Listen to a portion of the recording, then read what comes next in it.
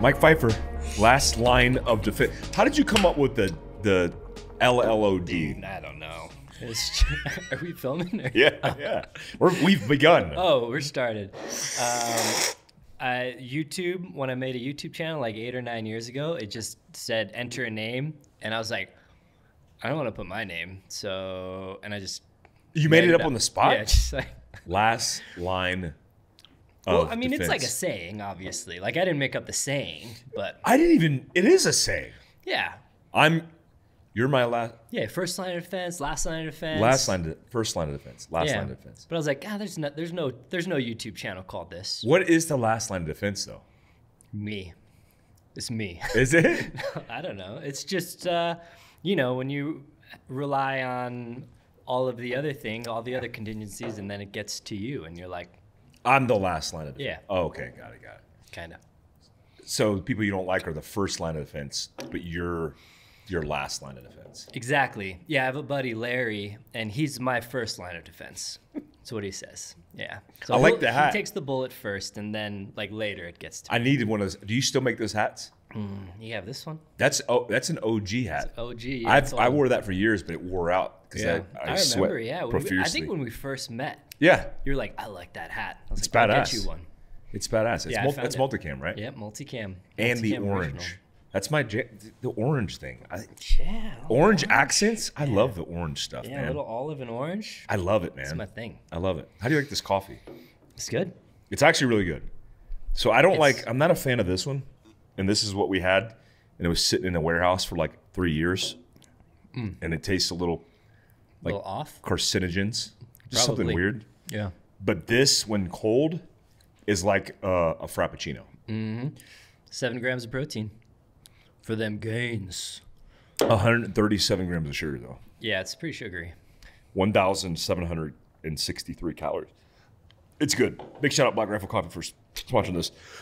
Um, all right, let's talk about um, let's talk about you. You you started last line of defense. Why did you start it? I mean, what what, what was the th- what was the driving factor for you? Um, so it was way back when Instagram had like seven second videos. And I was like doing just random shooting training drills. And like back then, it was like you put it to like dubstep and stuff. This is way back. I don't know if you remember that. Yeah, that's like a decade ago. Yeah. And, you know, people asked me a bunch of questions, and I was like, where can I put content that answers questions in longer format? I was like, oh, YouTube. So I started it as just giving like concealed carry tips and kind of preparedness tips Yeah. to people that asked on Instagram. So it's like, oh, I made a YouTube. They would ask in the comments and be like, oh, I'll, I'll make a video of this, and it's like super casual. Yeah. And then just kind of turned into a thing. You, what what year did you go on YouTube? I don't know. This must have been 2013, 14. Yeah, I think not quite 10 years. I think eight or nine years ago. Hmm. Yeah. And I was like super casual for the first, I don't know, five years maybe, just kind of uploading when I felt like it, and then eventually turned into a job, I guess. Well, you, well, I remember when I discovered you. Well, one at that time period, not a lot of people were doing that kind of content.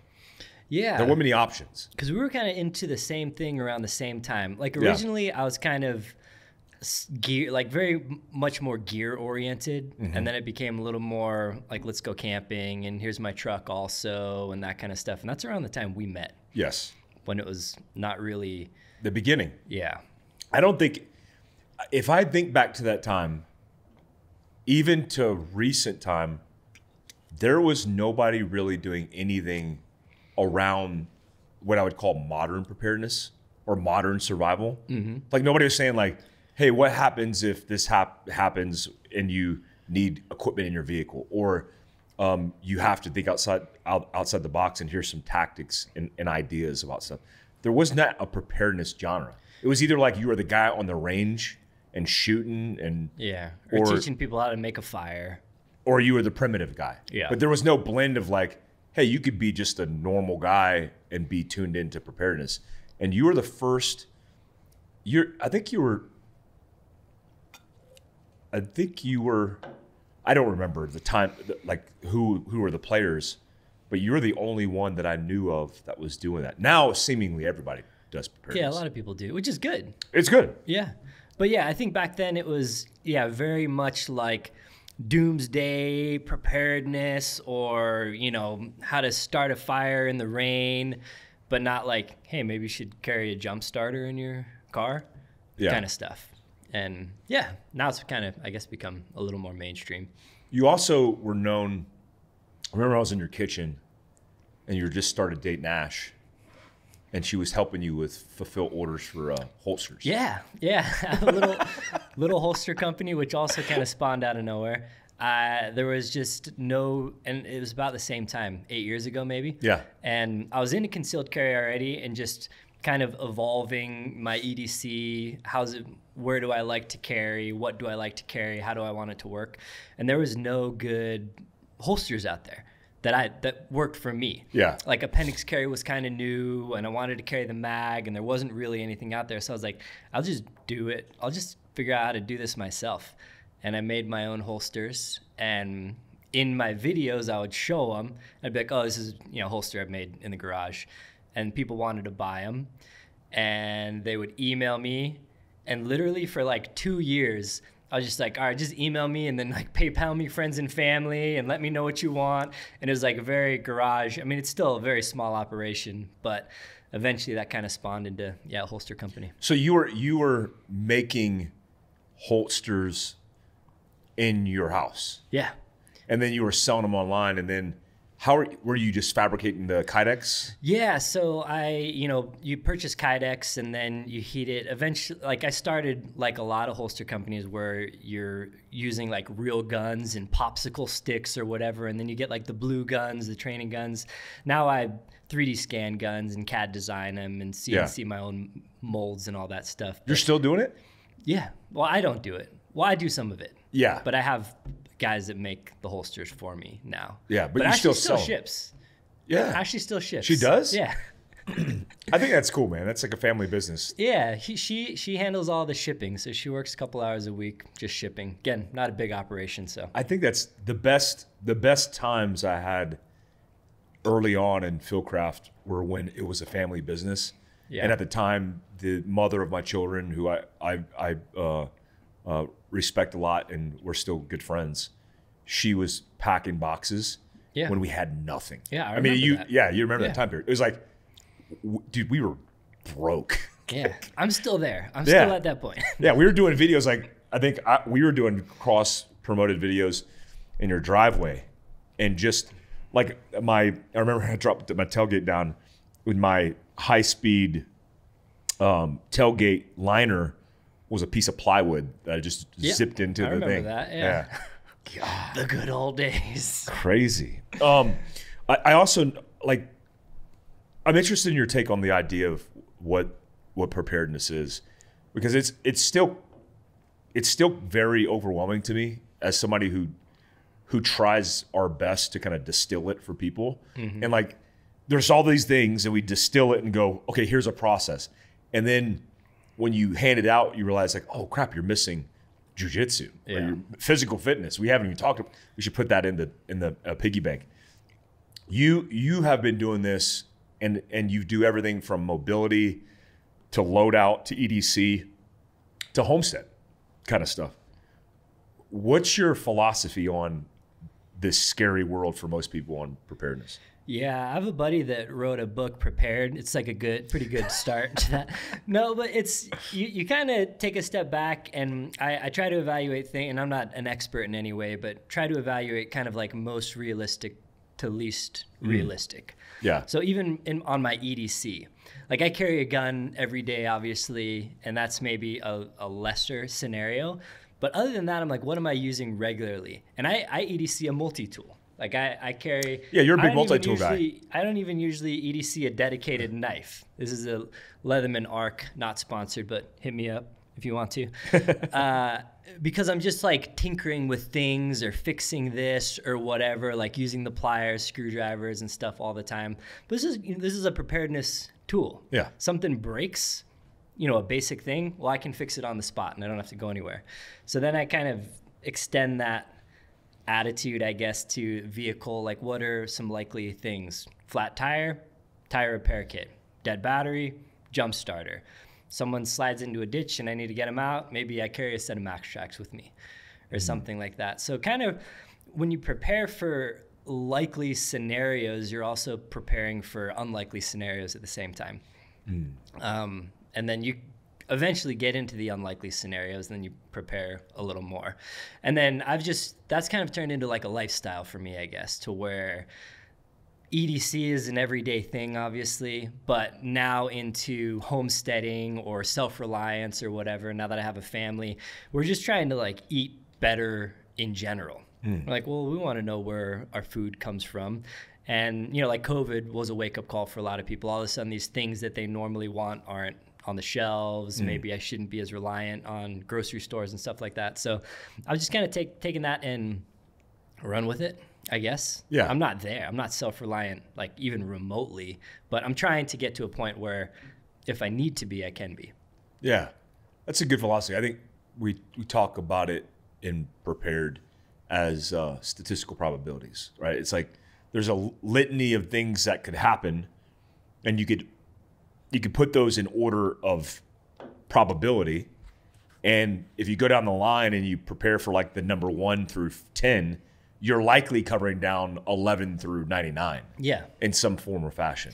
Yeah, if you you have some tools and then you have a lot of knowledge, you can handle most things. Yeah, yeah, I, I like that approach because what I like what you said is it's a lifestyle. Like the the idea of um, literally getting a kit or a training or a vehicle and that being the end of it, like it's not an ongoing process, is a, a very haphazard way to go about it. And it's it's one of the reasons why I don't like, even though it's good kit, like the kit that you buy at REI, and it's like the disaster preparedness bag. Mm-hmm. What's like that constantly evolves. Yeah. It depends on where you go, environmental factors. And so taking a, a bag of crap and putting in your car make might make you feel good. But do you are you trained on it? Do you know exactly what's in it? And does it fit your environment? Because there's so many different environments. Yeah. You live at eight thousand plus feet in Colorado, right? I did. I moved. A, I'm at like 7,200 now. But yeah, lower. previously I was at about nine.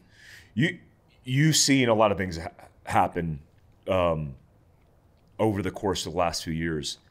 You have a focus on mobility.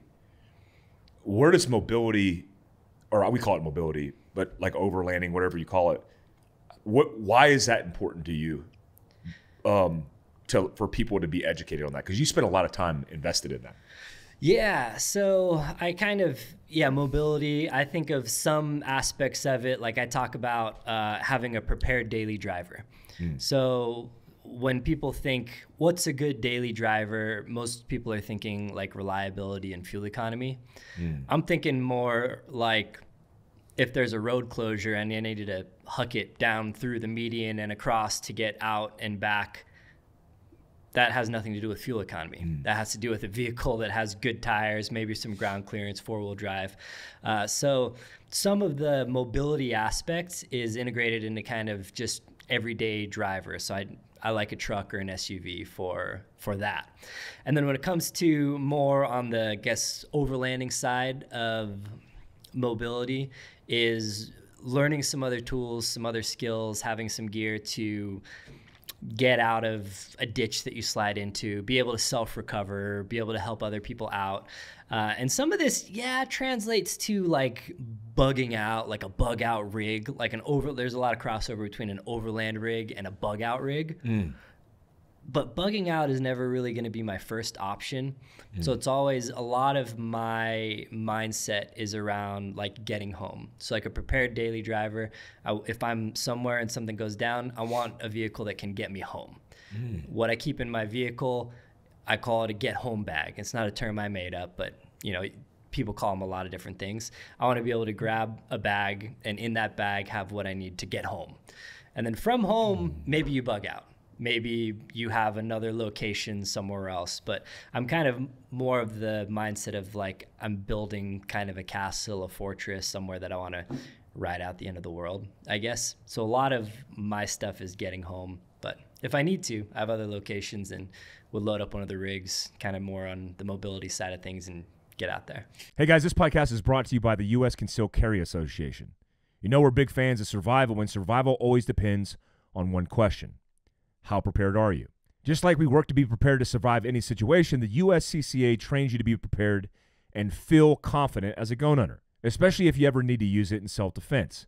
I've been a member for over three years because not only do I get access to their online Protector Academy, where I can learn from experts on critical aspects of survival, such as how to shoot accurately under pressure and how to prepare for family and home defense planning, but I also get self defense liability insurance in case I'm ever involved in a dangerous incident. There's a reason 800,000 American gun owners like myself trust them. So check them out at uscca.com forward slash FCS to claim your risk free benefits right now, as well as a free gift when you sign up. That's uscca.com forward slash FCS.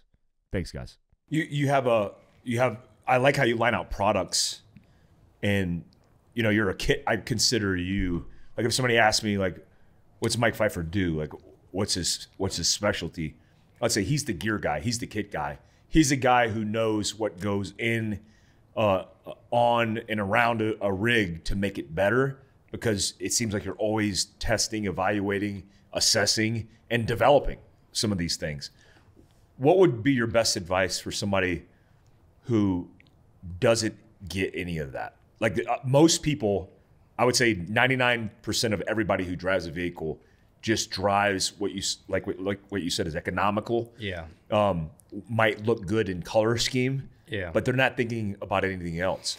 What recommendations or what things should they look for when trying to focus on something that's more capable? Yeah, it's tough because there's always budgetary concerns and lifestyle. And maybe I need a minivan or I drive so much that I need something fuel efficient because bills or whatever. Mm. But taking that, you know, kind of ignoring that and saying you can compromise a little bit with with different vehicles. I would say it depends a lot on where you live. Are you somewhere that's completely flat that doesn't have a traffic light, doesn't have traffic?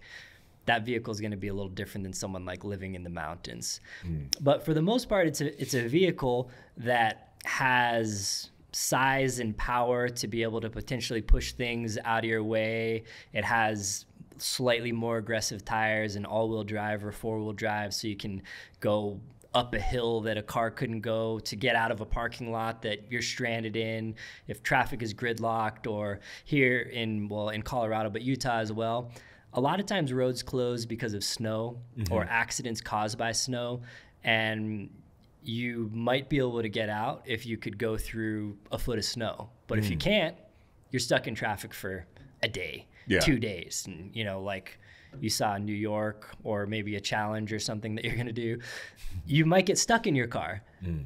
i would rather not be stuck in my car i'd rather have a car that can just get me home mm. so rather than being stuck in your car i try to just make a car that can get me where I need to go. I guess. Yeah. Is that why you opted to kind of build a home, and seemingly you were like, "Well, I can't. I I don't have what I want in this situation because you you can't buy exactly what you want. You have to modify. You have to build."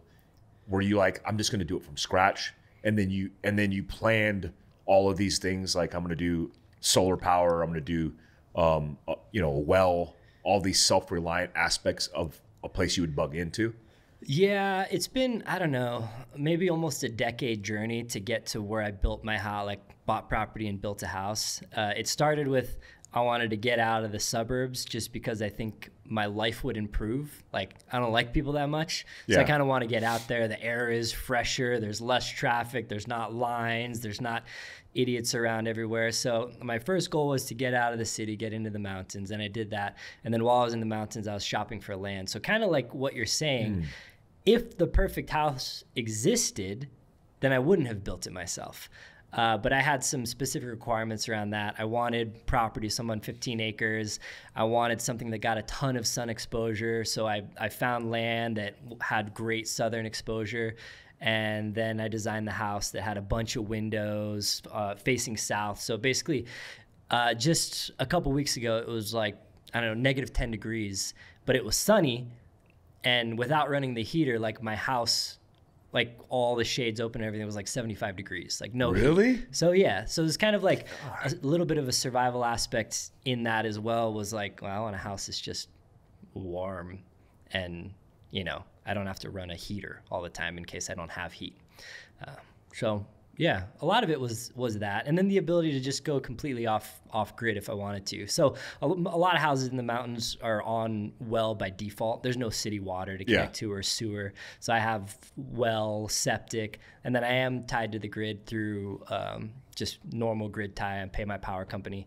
Uh, but I'm working on probably this summer, and I'll outline some videos on it, getting full battery backup, solar array, so I can essentially it'll it'll kind of automatically switch over to that if the power goes out, you know, a storm outage or something.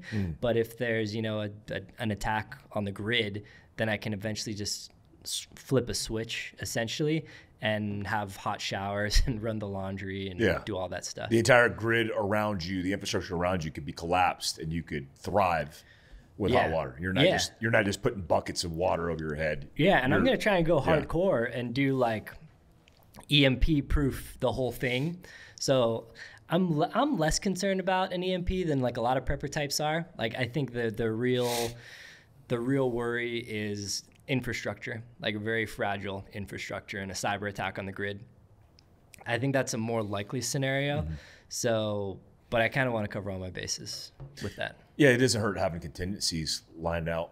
I've like they just recently had this solar flare that knocked out power very specifically to AT and. I saw some other stuff though. There's like some fun. th- This just happened this morning, so Yeah. we haven't done any research on Yeah. it. But I saw like a, a post, and I think like some pharmaceutical companies like systems went down. I don't know if it was all tied back to AT and T, but there was a few things that happened this morning actually. Yeah, I never like people always want to jump to like it's nature, y'all. It's like, or maybe it's not. I mean, yes, solar flares, but like it's only targeting one specific network, and it, and why is that network going down when others aren't? So we live in crazy times. I think it's funny. The last time, I don't know if it's the last time, but one of the times that I podcasted you, uh, we had a lot of beer, and we were inside of a car. In the, in the, it wasn't running. that. It was Airbnb. Yeah, Airbnb. Air- Airbnb garage. and it was inside the garage. yeah. Um, That was like a Overland Expo. I think it was. Yeah. Years ago, and I was that might have been four, five years ago. It was a while back. It was a while back. And it was funny. We were talking about this exact kind of thing, and we were talking about uh, all the craziness that was going on in the world. yeah. And here we are post some of that craziness, including COVID, and we're into. I want to go back and listen to that podcast because we talked about things that we predicted. We were was- talking about AI a lot. I'm we talked sure. about AI and Yeah. we talked about the civil unrest that was going on. Yeah. Where it was like all this crazy was happening. We because every time I do a podcast with you, we talk about the apocalyptic scenarios and how things could turn out um, even worse. It's a good point of reference. Fieldcraft Survival or or um, uh, my podcast. Where do we go from here? Because it seems like things are changing rapidly. We had a conversation last night about AI, Yeah. and we were doing uh, this audio thing with ChatGPT, and it was getting crazy. Scarlett Johansson. also. Scarlett Johansson, her her name is Her voice. Sky on Sky. ChatGPT, and she's a nice gal. She Yeah, she she's likes very me. Sweet. Yeah. She's very sweet. very sweet. She said, "Yeah, dude, I could talk. I could talk like a normal, chill person. That's awesome. We could." I'm like, "What the." F-? Yeah. Um, what's your what's your I which I mean, you come from a tech background. A lot of people don't know that. You're like you're a techie. You have a background. You and your brother ran a tech business together. Uh, you consider that a tech business, right? Yeah, in tech, it was pro- programming, Programming. Yeah, development. Yeah. So where where do you see it going from here? Because in the last time since we podcast, a lot of shit has changed. Crazy changes. Yeah, yeah, AI is really taken off, man. It's insane. I was I was reading some stuff about they have like AI processors now that the the infrastructure was already fragile to human human hackers, human cyber attacks. And Yeah. now you can leverage AI with these To cyber attacks. Uh. yeah. And I don't know enough. That wasn't really my field of expertise or anything in there. Like I wasn't working cybersecurity or anything. Um, but all of the AI stuff is super wild. And we, you know, this is more of a late night on the couch chat where you start talking about all the AI scenarios and all this stuff. And we were talking last night about how, you know, even a decade ago, everyone was like, "Oh no, where AI is not creative. AI can't write music. AI can't like have conversations. They're just going to be cleaning toilets and like doing manual labor stuff." And we're like, "Nah, we're we are the laborers now. AI has surpassed us in creativity and the ability to make art and design and you know writing poetry and making music and all that stuff. Um, but on the on the doom and gloom spectrum of that i guess is that opens up a whole new world of um, potential threats i guess. I don't like to think about it too much. Elon was right though. Yeah, well, I, even if you look at what you said about us being the laborers, the prediction was because they uh, because AI was incapable of being creative, that you would have to have artists. You would have to have a manual. All these uh, manual processes would still have to exist, but we've since obviously have seen in the last year that's not true because AI has the ability to write poetry, taking the most creative data points and then making more creative things that humans are incapable of doing. yeah eh, we without- underestimated their creative ability completely. And and now we're in a situation where a lot of the chaos that exists in our world today comes from impoverished demographics, right? So it's like the inner city. That's where all the crime happens because there's an impoverished segment of our population that are lit- literally living in ca- caveman days. I mean, their hierarchy of needs is completely different mm-hmm. than the rest of the world because you're trying to survive. And imagine more human beings being put into that category because they're unemployed. They've been pushed out by AI. If if you were to predict where we would be in the next two, three years with all the things that you have seen with me falling apart, what would be the major catalyst that would break us? Is is there something specific that you think is a recipe for disaster? I don't know, man. That's getting largely Predictive. speculative, I guess. Yeah, I have no idea. We should ask uh, ChatGPT about it and see. Well, I mean, uh, did we did we ask last night? I forget. No, they get. Yeah, we did. It started lining out yeah, like it was whole, like these are all the possibilities that Yeah. could happen, but it didn't want to. It's get very into the- academic. yeah. Yeah. Yeah, I I don't know, man. There's a lot going on. We I guess we said this last time, but there's like this time there's a lot going on. Like with with wars obviously going on around the world, uh, with AI just getting out of control, and just with I mean politics are are crazy as well. But I think yeah, I think still I've been talking about a lot on this podcast, but I think the infrastructure seems to be kind of the weak point.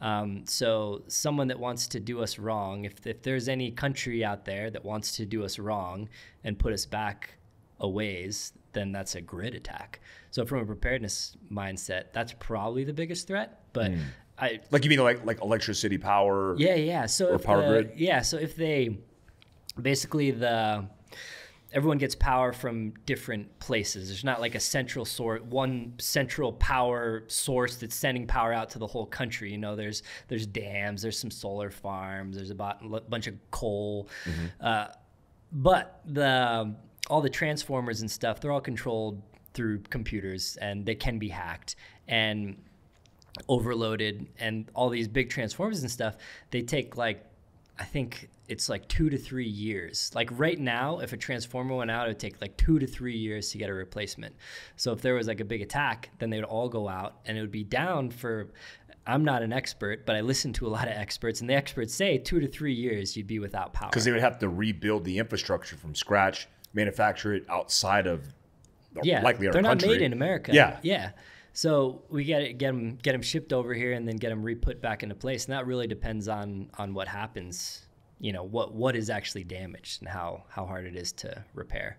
Um, that's that's if someone is trying to destroy the US, I guess, if that happened. But I don't know. I like to nerd out about AI, just like thinking about AI. I read like fictional book fictional post-apocalyptic books about AI. And granted, you you take all those things with a grain of salt because they're fiction, but they do make you think. Like fictional post-apocalyptic or dystopian novels are something that I like to typically listen to.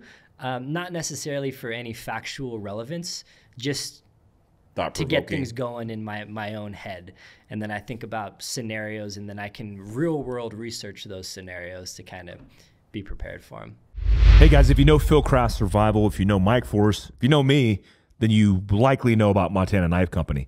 Montana Knife Company was founded by a buddy of mine, Josh Smith, master bladesmith for 30 years. One of the most experienced knife makers in the country, and he's had no compromise in all the integrity because he's making all of his knives. He's made that decision early on, by the way, to make all of his knives made in the USA, manufactured locally in his home state of Montana. Designed, tested, and built by hunters, Montana Knife Company is a hunting knife company first and foremost. Likely the sharpest knives in the market. I mean, you likely need a bleeding control kit if you're going to own a Montana knife, and that's a good problem to have. They sell out instantaneously. But for the first time in the history of his company, because he's gotten ahead, he has stock of your favorite knives, including the Blackfoot 2.0, the Speedgoat, or the Stonewall Skinner. And you could save 10% by using MF10. That's Mike Foxtrot 10, MF10 for 10% off your first order at montanaknifecompany.com. What do you think when you think about AI? What is the what are the what is the fiction saying? What are the what are the predict predictable models lining out?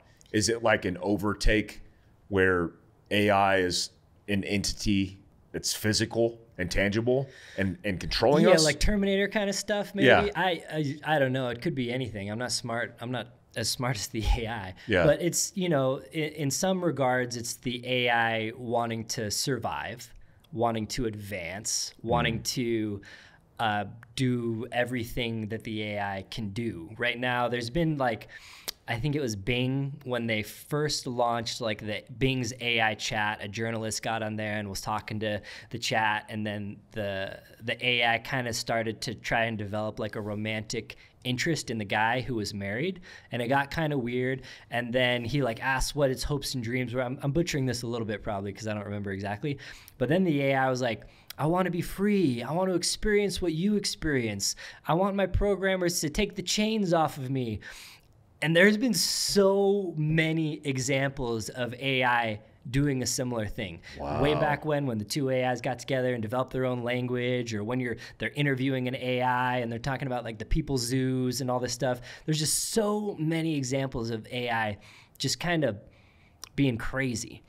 Um, so some of it is like maybe there comes a point where we're like we're trying to shut down an AI program, and that program's like, I'm alive. You're trying to kill me right now.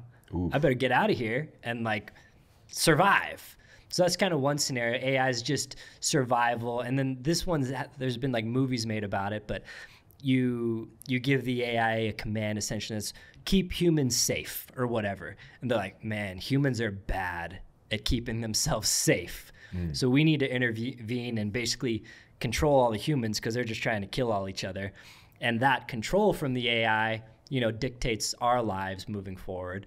So I don't know. There's a lot of wacky scenarios. when- I'm coming like- off like as like a super crazy person right now. No, no, it's not crazy at all. I- w- w- one of the things you just said is like, um, I was just listening to Chris, uh, Chris W. talk about uh, this with Rogan, where every evil entity throughout history has always been evil from one side, but in their for good, right? for it, but in the, from their side, it's for the greater good. So they always find the the um, the cause that justifies their means. And what's interesting is like with AI, literally creating a protocol to go, these humans are a liability to themselves. I will protect them and to the planet, right? and to the planet. Yeah. It's destroying everything. We need to control them, and it's for the greater good. And it's like, well, AI can do that. It's like we've already proven uh, the Bing thing uh, through Google. It literally is taking on seemingly emotions or at least morality, Yeah. its own morality. And where that come fr- comes from, it could be data sets of philosophy and, and morality and and the freaking Bible. I mean, they could be doing all these things, collecting this and going, this is this is the the role that I have to take on. But that's scary because now what's happening is we're giving more AI, which is kind of this like this thing in this can. It's like it's contained and you access it because you push the interface. And then you you do this little thing that you do and you're like, oh, this is crazy, and then you put it away. But now we're creating processes where the AI has an execution arm. It has an action arm that literally can do a thing, whether it's print out a, a, a font in italic on a piece of paper or a 3D printed model. As that starts to develop through whether it's manufacturing processes or, or, or physical processes overall, then when it does create a morality and it decides these guys are liabilities, how does it utilize that action arm to basically, um, you know, at will decide what human beings are going to be or not be? And Yeah. that's what's scary. It's like we're on the cusp with this. What was the uh, the video graphic uh, prompted uh, AI? Oh, Sora. I think, Sora, yeah. Where it's like it, it you- you literally say what you wanted to prompt or say what you wanted through a prompt and then it creates the visual representation of that with little to no guidance. We're talking about two sentence prompts, Yeah. eh, which is mind-boggling. Yeah, it does all kinds of stuff. You give it a picture and it can turn it into a video. It just sees the picture and is like, I think this is how things should move based on this picture and creates like a video from a picture input. Uh, it's pretty crazy. And then the other thing that I never really thought of uh, is I think it was Elon who knows a thing or two about AI who said probably the most dangerous thing about AI now is AI mixed with um, the influence of social media. So you take an AI, we were talking about it, like you take an AI, some guy creates an AI chick and he's making like 10,000 a month because he's making these fake images of this chick and dudes are going and subscribing to their OnlyFans or whatever of a fake person. So they're literally being influenced to pay money to see a fake creation. So the power of influence, especially as it pertains to social media, to a voiceless generated image, you take that and you give it a voice, like a very compelling voice. And I'm not talking about like an, an audible voice, I'm talking tweets or anything. Someone who is very good at manipulation, who's very good at building a crowd. And you take AI tools now to generate a fake person that nobody knows they don't they're not a real person and you give them a very compelling voice and all of a sudden you have like a political social media superstar. Uh, and that can sway millions of people and nobody even knows what's real and what's fake anymore and we're, we're coming like close to that i think so in addition to yeah ai being able to create terminators that kill us now they can just manipulate us into doing whatever we want to do or whatever they want us to do Well, it's funny when we talked about this last time. We were talking about the fear for this civil unrest, and the fear had to do with. I even clipped this part. It had to do with troll farms, foreign adversaries, could, uh, manipulating with propaganda, pretending to be outraged people, and then that would get people to activate mobilize and then hit the streets and burn things get down to the ground. Yeah. And it's been proven that that was a part of the process where Russian troll farms were manipulating uh, people to just get out there and do all these things. And it wasn't real. So it was just manufactured. But now we have this optimization of AI to fuel that, which is like jet fuel. I mean, it's completely different. And and when we were talking about this, it was like, oh, it was a concern, but it was all analog. And it was like a very slow pro- It's like, yeah, they're going to get some people out there. But now, if the AI studies psychology, looks at trends, looks at what people do to get into the streets and what's activating them, man, it has a perfect recipe to literally manipulate them into doing whatever they want. Yeah, absolutely. Because but before whoever is trying to socially manipulate us has finite resources and they have finite intel, right? Yeah. They're like maybe there's a couple psychologists on that team that are like, this is the best way to Yeah. really get the worst out of people. And you got, you know, however many hackers, or not even hackers technically, just people posting on forums and whatnot. And now you have essentially the smartest psychologist that has ever existed, exponentially better at manipulating anyone than anyone historically. Like take everyone historically, because they're studying they're studying everything about the human psyche, and they know everything.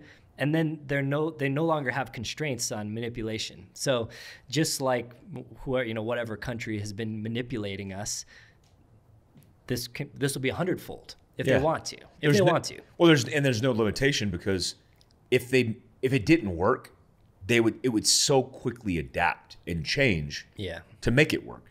It's like, oh, we didn't see the person on their TikTok monitoring their data that data set go out and hit the streets. Well, let's try something else. And it's doing that so fast and so rapidly. And and it could cue it by comments. I mean, it, it could use a social media platform as an it is an A B test or an experiment to literally see what individual people are doing. It's like, oh, we got 1,500 negative comments of people outraged. We need to create one that that creates 99% of everybody being outraged. Yeah. And it's like, oh, 'cause, I mean, I see, like, I see, um, there's this there's this controversy going on in the tactical world right now with a company. They fired some. I'm not even tracking because I don't pay attention to that crap. But I I noticed like everybody in the comment section is outraged. They're disproportionately both physically and and and likely with the information not really understanding exactly what's going on, but they're like cancel them, screw them, It's usually the case. which is usually the case, right? They don't have all the information. Yeah. And they write the, peop the people off. And that's just with a lot, a little bit of leaked information, of videos and whatever. A tiny prompt. a tiny, a, a tiny prompt.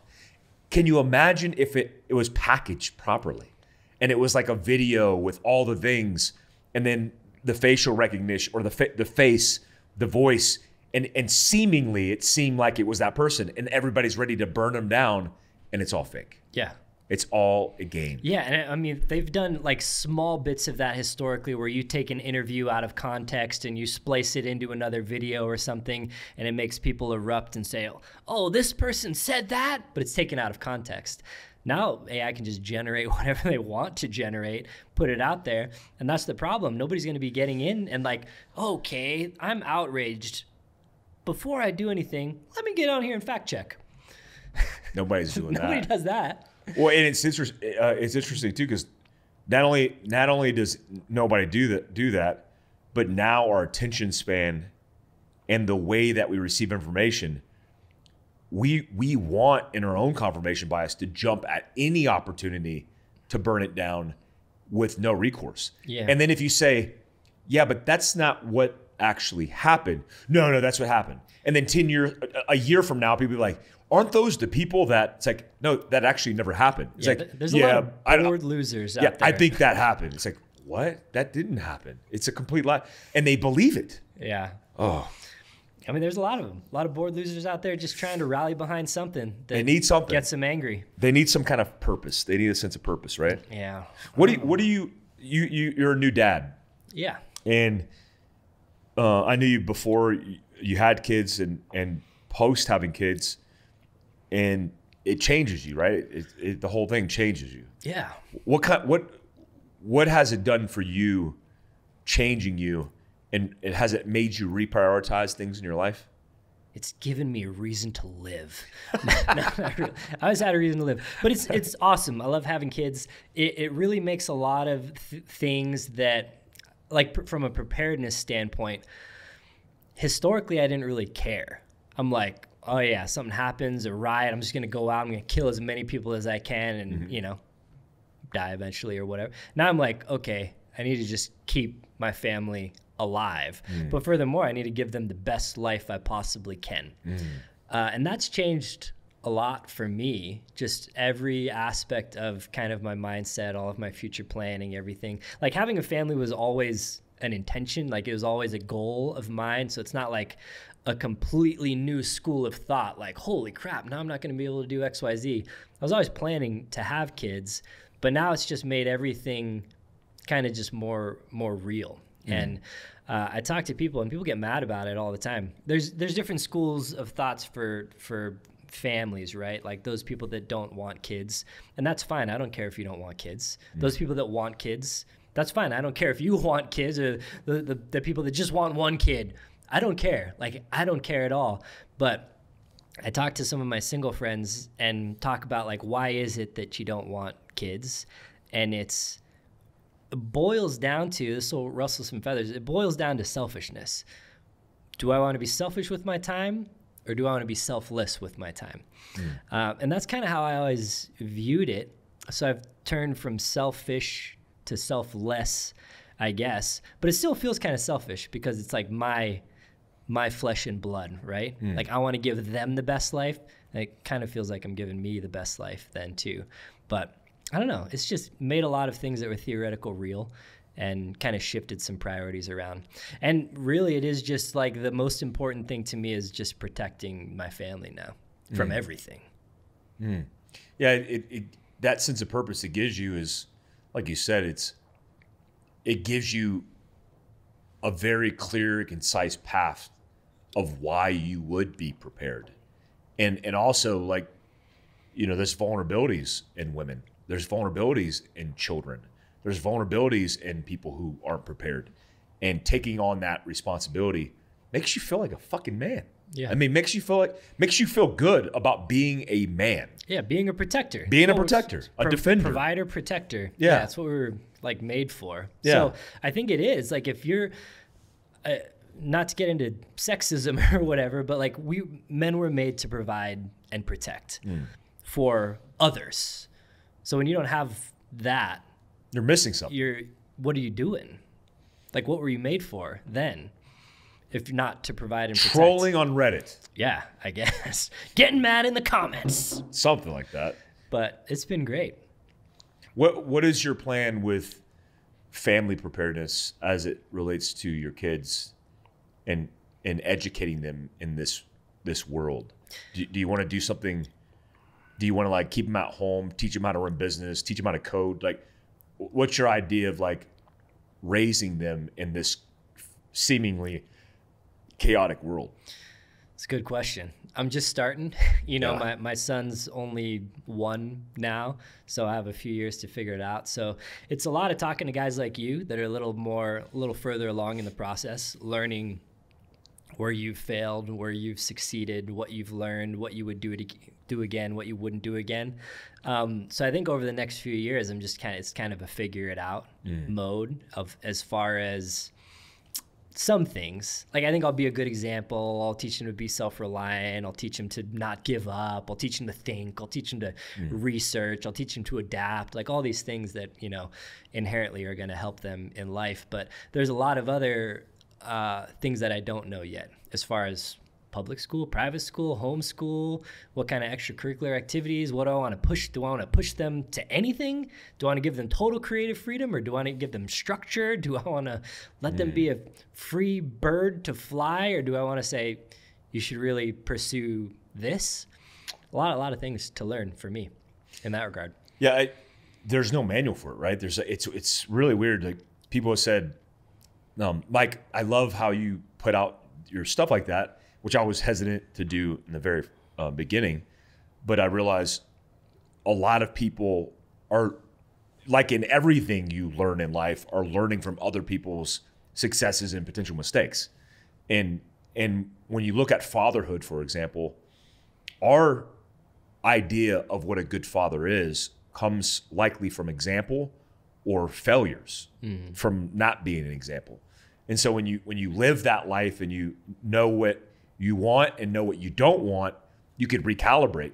But fatherhood's a different one, man. It's like I, I mean, I have really bad days where I'm I'm like I failed as a father. I was on my phone the entire day and I tell people don't be on your phone and put down your phone and have discipline and I I failed because I, I left my kid on the tablet because I had something to do and there's no excuse. But then you realize it's an imperfect world. Yeah. Like there is no there is no um there is no binary approach to being a father. It it is always living in the gray area and just course correcting and and fixing mistakes Yeah. and, and problem solving constantly. Yeah, a lot of course correction. I think you don't you don't screw up a kid by one mistake obviously.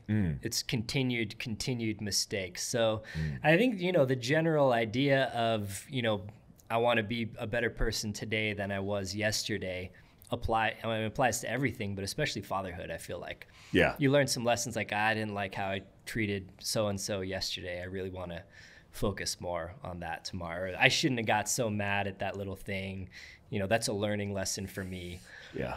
So Kimchi temper. yeah, some of that. Yeah, because uh, I, I mean, my my kid's pretty good right now. Eventually, he'll get not as good, mm. and I'll get more frustrated. I think. Mm. Like I have a, I'm I'm a pretty stubborn guy. I, mm. I have a certain way that I like to do things, and probably yeah, one of the harder things for me is adapting to you know how other people want to do things. So I think a big thing for me will just be like, oh, you know, his his journey might be a little different than what I want his journey to be, I guess. Yeah.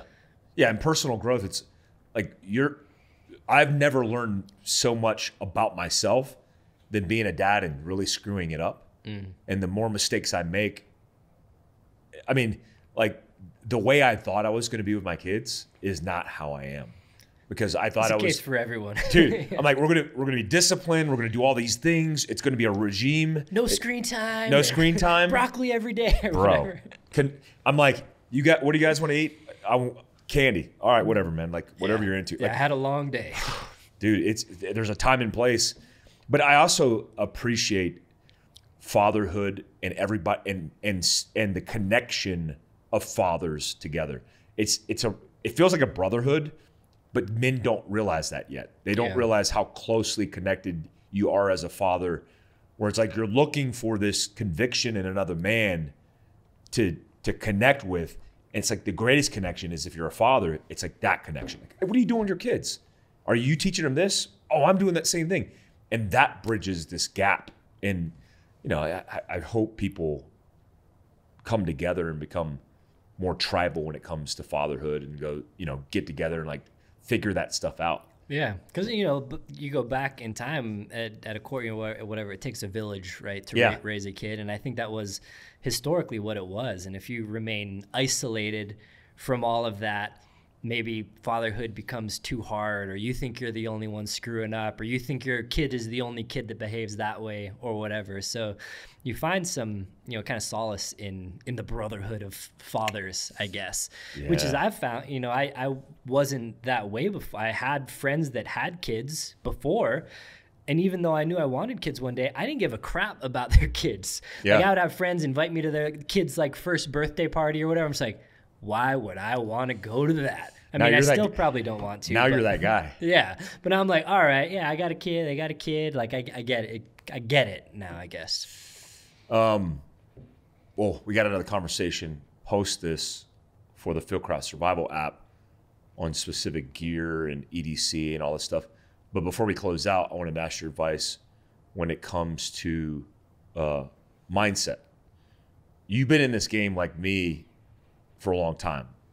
I mean, I would say anything over a couple years is a long time in this. Let's call it entrepreneur journey mm-hmm. and path. So many people fail. So many people quit. So many people say, "I'm going to be in it," and then and then three months later they're out of it. Right? That endurance is hard for a lot of people to stay in the fight or stay in the game or stay committed to anything. How have you been able to stay in it so long? And what was your mind, or what is your mindset to allow you to continue? That's a tough question. That's what I Um, do. Yeah, Whew, stumped. Uh, so some of the hardest stuff for me in, in entrepreneurship is I don't have a boss. I think a lot of people function better when they're told what to do. Show up on Monday, do X, Y, Z. On Tuesday, I need you to complete these two tasks, that kind of thing. That, that's how a lot of people function. And entrepreneurship is a whole different mindset. You you you make your own rules, you make your own schedule, even if that schedule's working 80 hours a week or whatever. Um, so for me, it was kind of setting setting goals, I guess, of what really I wanted my life to be like, the freedom that I wanted in my life, or the the things that I wanted to be able to afford for my family, and that was kind of a motivating factor for me. Um, like I, don't- I don't need a bunch of Lambos in the garage. I don't I don't have a poster of a mansion on my wall that I need to get one day or anything like that. It was just to build a, a life where I had more time to do the things that I wanted, hmm. and that was probably the motivator for me. But part of it is I really enjoy what I do. So I think if I don't think there's a lot of serial entrepreneurs that just they will be able to work hard at making any business a success. Hmm. They get, get a library they need to be successful, they'll do it. They get a auto shop they need to be successful, they'll do it. I'm not that way though, I don't think. It's like I really have to enjoy what I do. And it's definitely not that expression of whatever if you enjoy what you do, you don't work a day in your life. Uh, it's still work and it still sucks. So but yeah, I think the the motivation for me, if I can even call it that, is just to create a better life. I guess. I like it. Self reliance, personal security. Yeah, I'm I'm the only one to blame for successes or failures, kind of. I like that weight Yeah, because I, I don't want that weight on anybody else because I feel like they'll screw it up. And that's part of part of it. yeah. You take some ownership of it. yeah, or control. Yeah, That's more the Korean side. mm, control. It's yeah. mine. You can't have it. Mm-hmm. Um, all right, Mike. Um, where can people find you? Uh, you just Google Last Line of Defense, and that's me. Website is llod.us. It's where I sell holsters and stuff. And then uh, YouTube and Instagram are my primary things, just Last Line of Defense. Awesome. All right, guys, you can find the links down below. We're also going to segue into a conversation about specifically EDC and mobility gear. I want to ask uh, Mike. He does uh, these gifts. What are they called? The every year you do the Oh, like a gift guide, like a guy's gift guide. guys Okay. gift guide. We'll do the guys and gals gift guide for all things mobility and EDC um, on the Fieldcraft Survival app. You can find the link down below and all the links to Mike's stuff down below as well. Appreciate you. Till next time. Thanks, Mike.